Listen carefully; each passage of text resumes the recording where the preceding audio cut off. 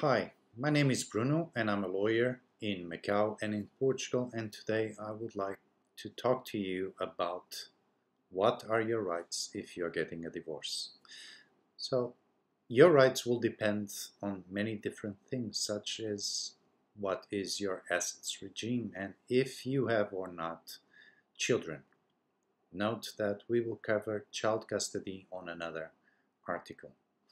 So we have many clients that come to us asking if they will be entitled to economic support from their former spouse.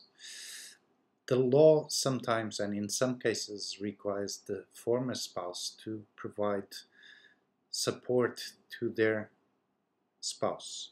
And if you have children and if the court decides that you will have the child custody, Sometimes the judge will also determine that you will be entitled to receive child custody to pay for the expenses you will have with the child that will be under your custody.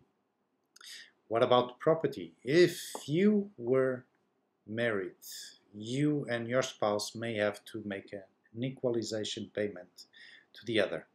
That means that the court will assign property to different spouses, but the spouse that receives such asset will need to make maybe a compensation depending on what was the assets division made by the court.